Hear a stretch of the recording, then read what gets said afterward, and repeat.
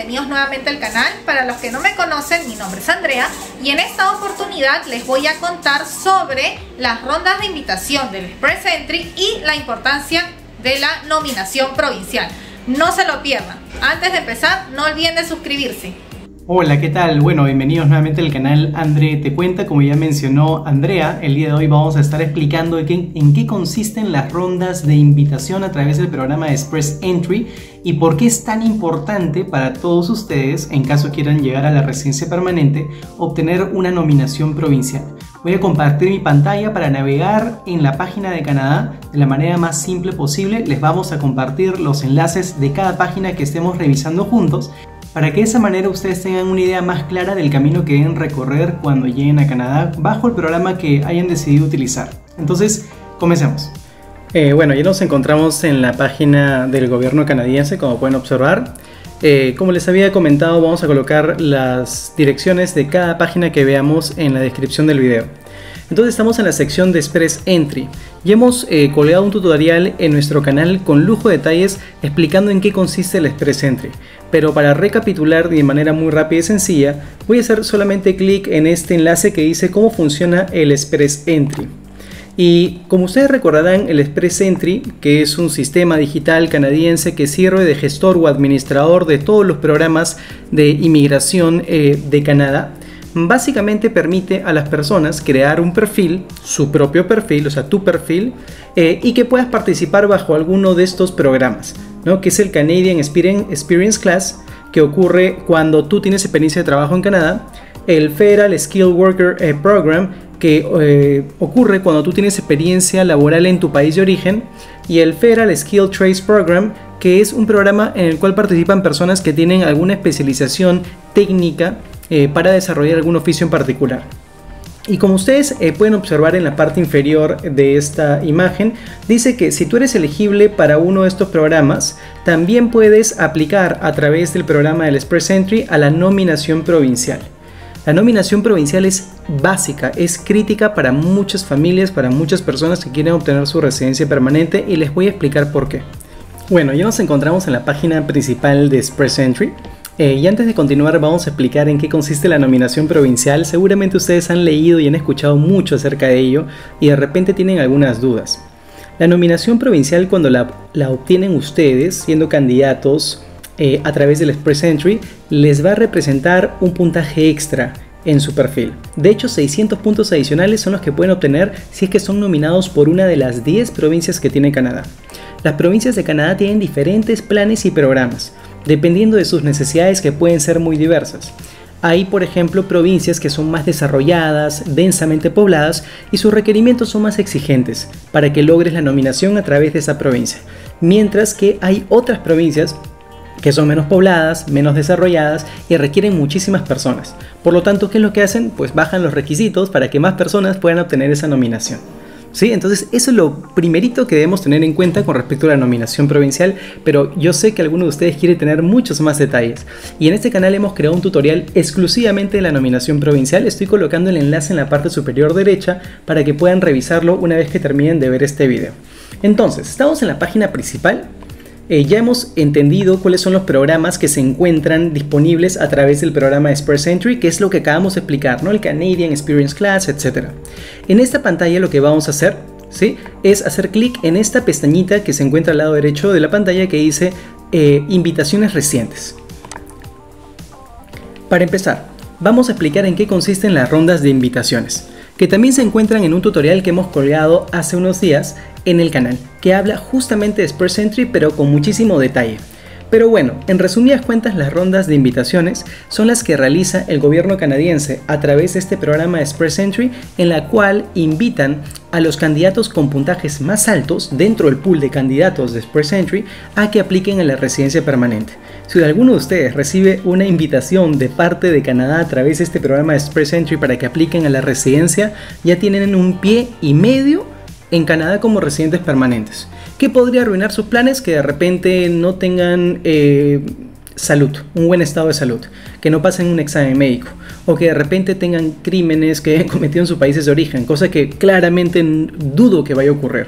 Pero ¿por qué menciono estos eh, puntos? Porque cuando son invitados a aplicar a la residencia permanente, les van a pedir documentos extras a los que ya habían presentado al momento de crear su perfil en el Express Entry, entre, entre ellos ¿no? certificado de antecedentes policiales, criminales, judiciales, exámenes médicos, entre otros. Pero esos son los más importantes, los críticos. Pero imaginemos que ustedes cumplen con todo.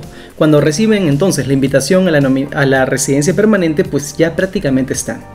Ahora, seguramente alguno de ustedes se preguntará, ¿cada cuánto tiempo se realizan esas rondas de invitaciones? Bueno, se realizan dos rondas al mes. Al menos ha sido la tendencia en los últimos años. ¿Sí?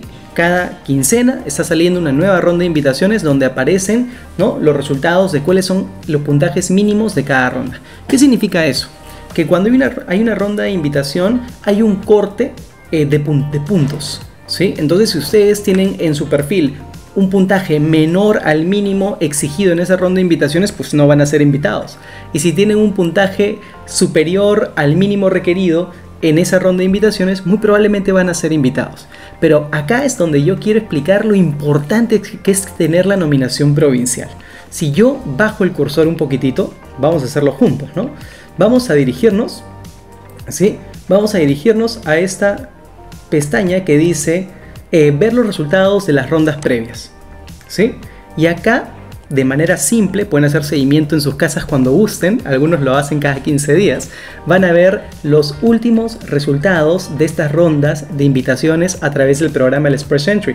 Y como ustedes pueden observar, no, no me había equivocado en señalar de que habían dos rondas de invitaciones al mes. Típicamente a inicios de, de cada mes y en quincena, ¿no? A inicios de cada mes y en quincena. Y acá, para que entiendan en qué consiste todo esto, veamos lo siguiente. ¿Cuántas, rondas de invitación va realizando Canadá a través del programa Express Entry? 218 rondas. La última ronda, ¿cuándo fue anunciada? El 16 de marzo de este año 2022.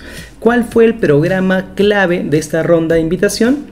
El programa de nominación provincial. Por eso es tan importante que ustedes obtengan una nominación provincial que normalmente se obtiene estando en Canadá no significa que no puedan obtener una estando en sus países de origen.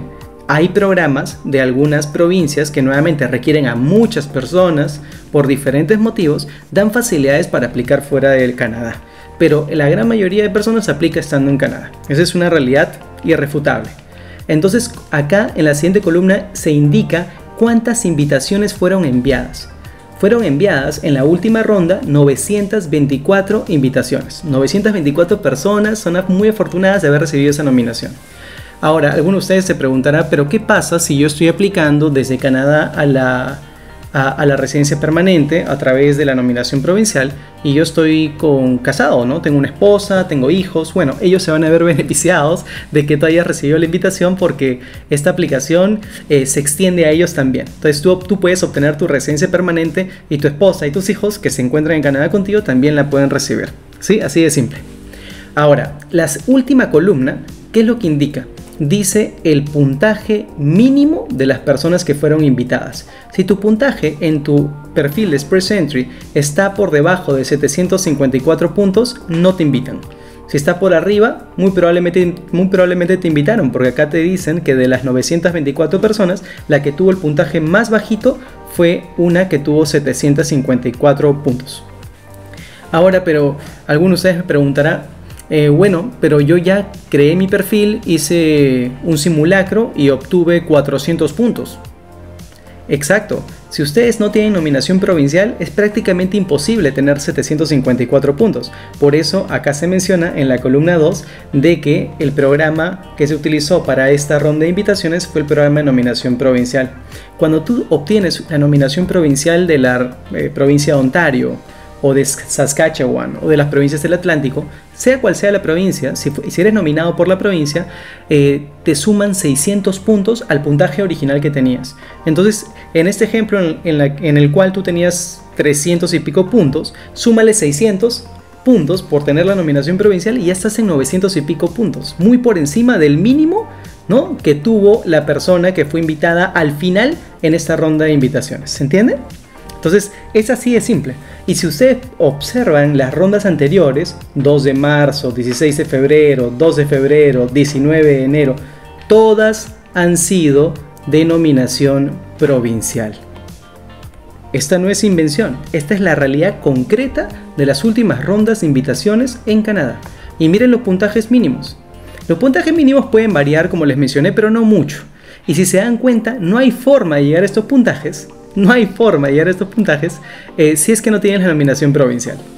Sí, no hay, no hay forma. Entonces acá es importante tratar de ver qué provincia es la que nos puede nominar ¿no? a, su provincia, justamente vale la redundancia, para que puedan obtener esos 600 puntos extras. De hecho, en este canal vamos a explicar con lujo de detalles eh, los programas de nominación provincial región por región, de la manera más clara y didáctica posible. Eh, vamos a bajar un poquito más y mira, por fin encontramos un Canadian Experience Class. En esta ronda que fue realizada el 14 de septiembre del 2021, eh, invitaron a 2.000 personas. ¿Sí? A 2.000 personas. Y el puntaje mínimo, o sea, la persona que tuvo el puntaje más bajito de las 2.000, tuvo 462 puntos. ¿Se puede obtener 462 puntos sin tener nominación provincial? Se puede, pero es, es muy, muy retador. ¿Qué tiene que ocurrir para que ustedes, si no tienen nominación provincial, obtengan 462 puntos? La verdad, eh, no pueden ser eh, muy veteranos en términos de edad, deberían estar entre los 35 y 40 años máximo.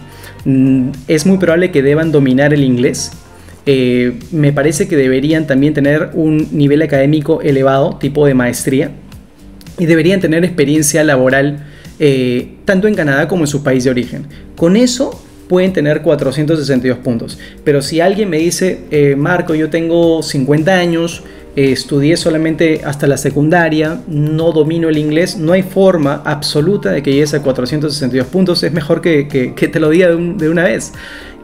¿Se puede solucionar el problema? Sí, por supuesto, pero tendrías que aprender un poquito más de inglés, reforzar el francés de repente, obtener mayor experiencia laboral, entre otros factores importantes. Lo que tú no puedes cambiar es tu edad.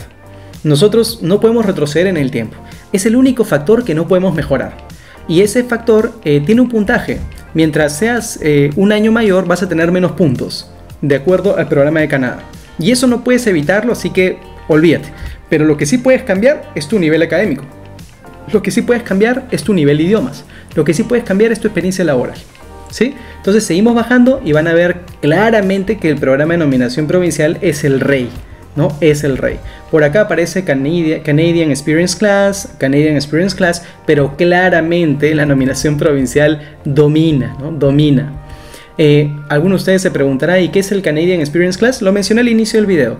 Ocurre cuando tú tienes experiencia de trabajo en Canadá. Ya te encuentras en Canadá. Es muy bueno porque aparte de la experiencia laboral en tu país de origen que tienes que probar con cartas y constancias de trabajo y boletas de pago, tú también puedes probar que has trabajado en Canadá y eso te da un puntaje extra. ¿sí? Ahora, si por casualidad ustedes son nominados a una provincia en particular, ya saben que el puntaje que tienen le suman 600 puntos y se van para arriba. Por eso, como les mencioné al inicio del video, si obtienen esa nominación provincial, ya prácticamente eh, van a, están seguros de que van a ser invitados a aplicar a la residencia permanente. Podemos seguir avanzando con las pestañitas, pero no va a cambiar este, mucho eh, la mecánica, la lógica de estas rondas de invitación. Domina la nominación provincial y la el segundo programa que también está presente de manera constante es el Canadian Experience Class.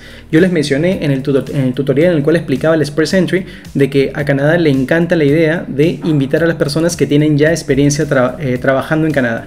Por varios motivos. Primero porque ya se establecieron en Canadá, probablemente ya hay un arraigo en Canadá, tienen experiencia laboral, generan ya lucro, generan dinero en Canadá y de esa manera no van a ser una suerte de, carga eh, para el sistema canadiense, sea el sistema de salud o desempleo etcétera, etcétera. Entonces, eh, eso es lo que quiere eh, Canadá. No te lo van a decir directamente, pero queda muy claro que quiere invitar a personas que puedan producir, que puedan sumar económicamente al país, culturalmente al país. ¿sí? Entonces, eh, este es el enlace de las rondas de invitación a través del programa Express Entry. Voy a colocar también el enlace en los comentarios. Coméntenme si, si les ha parecido interesante este tutorial.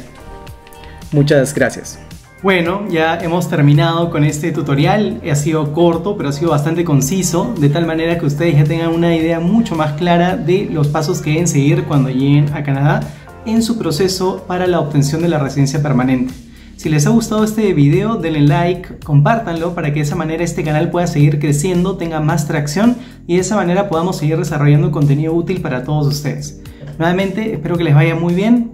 Nos vemos muy pronto. Chao.